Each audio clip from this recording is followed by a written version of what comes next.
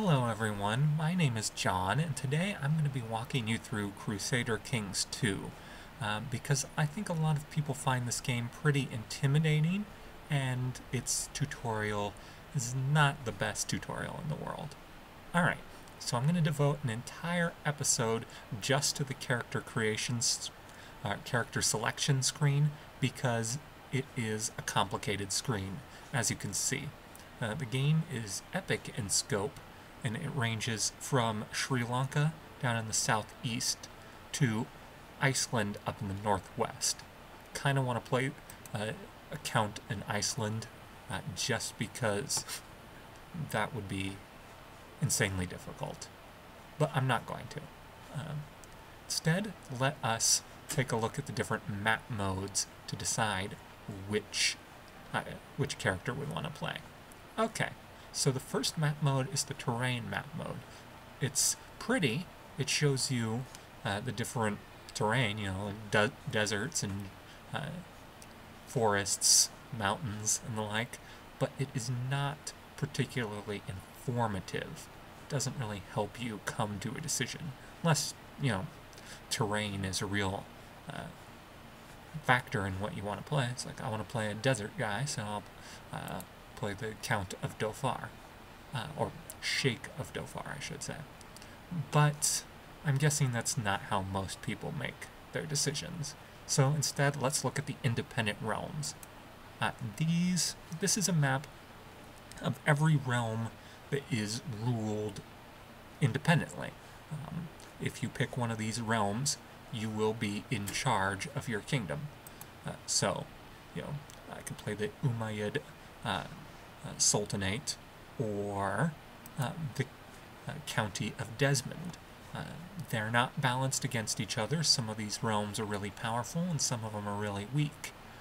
but if you have an idea about where and uh, what level of power you want to play, uh, this uh, map can be pretty handy. Um, if not, then you'll have to go to a different map.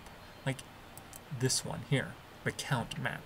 Uh, this shows all of the counts, uh, people who have exactly, uh, whose highest title is count. Uh, some counts are more powerful than others in that they control uh, more than one county. Uh, here's an example of that. the Sheikh of Orania controls both of these counties here. Um, now, uh, counts or sheikhs, as the Muslim version is called, uh, generally swear fealty to a more powerful lord. Uh, some of these are independent, uh, most of the ones in Ireland, for example, uh, but uh, a lot of them are subordinate, like these ones here in France.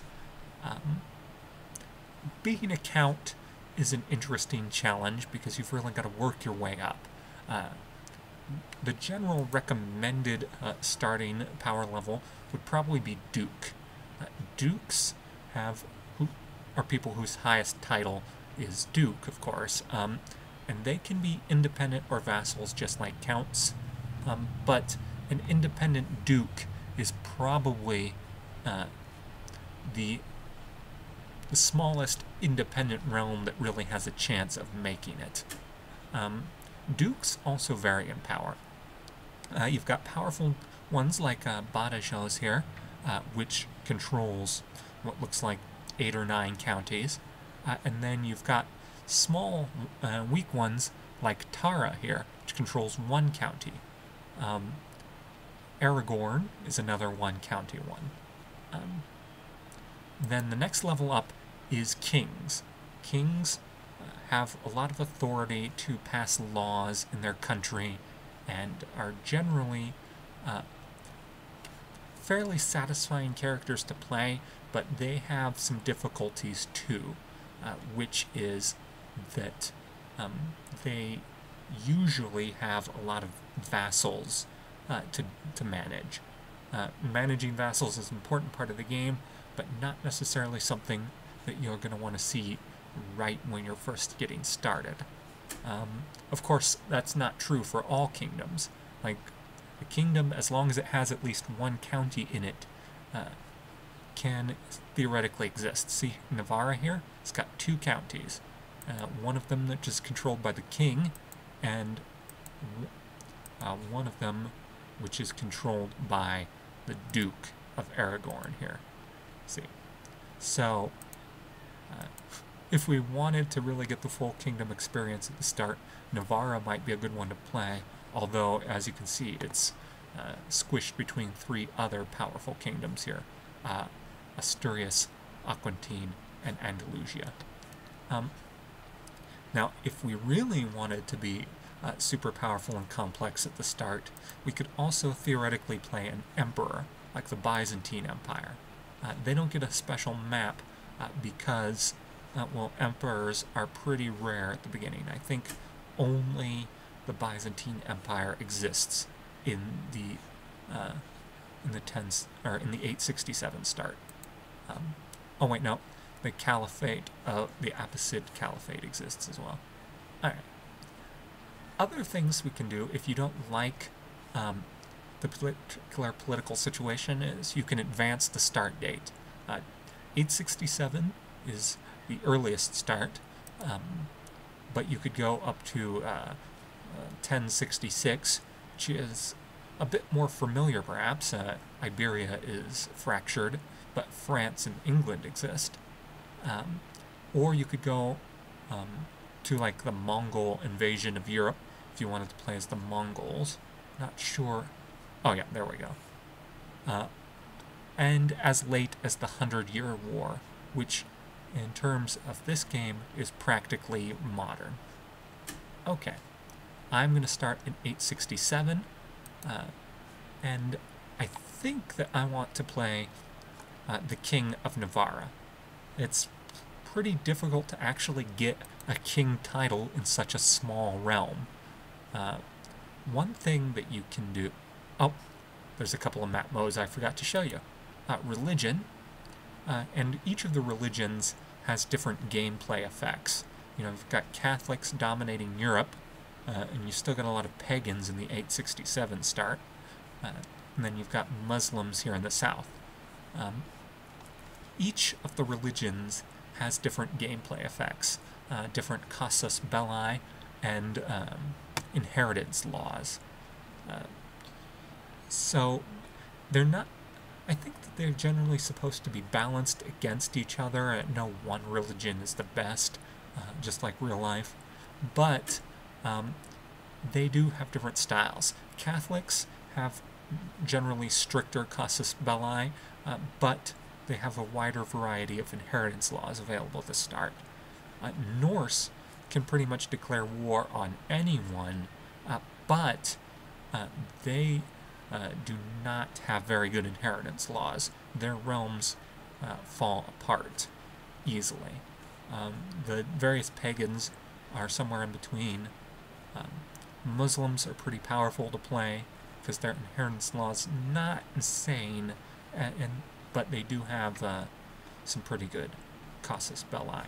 Um, and of course, because this is Crusader Kings, uh, one universal casus belli is holy war. So if you play on the border here, uh, declaring war on a rival kingdom with a different religion is always allowed. Um, but like I said, I think I want to play uh, the Kingdom of Navarra, and this map uh, the culture map. Just show you why. Um, culture doesn't have a huge effect on how the game is played. Um, you get uh, specific uh, cultural units, like special units, based on your culture. Um, but other than that, its main effect is diplomatic. Um, it's easier to rule over uh, counties that share your culture and it's harder to rule over counties that are different culture. So one thing that you would want to look at is um, widespread cultures. Like uh, you could play a small starting state here in uh, the Levantine culture, but if you ever expanded your empire, it would be much more stable. Uh, Basques is a pretty small culture, but they get a special ability, which I think is pretty handy. Uh, and that is that they have uh, are one of the few with access to equitable gender inheritance laws, and so uh, I've never really played as a Basque in this game before.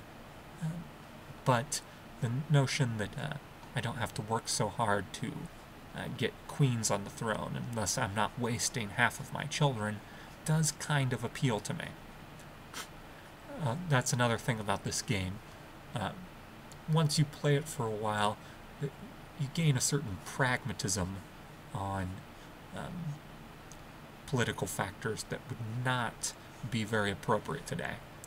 Of course, the way I usually play is choose a random character, but um, to do that in uh, in a demonstration game probably be pretty irresponsible. But yeah, like it'll just take you all over the map. So we are going to play as the King of Navarra, starting with our next episode. Uh, so have a nice day.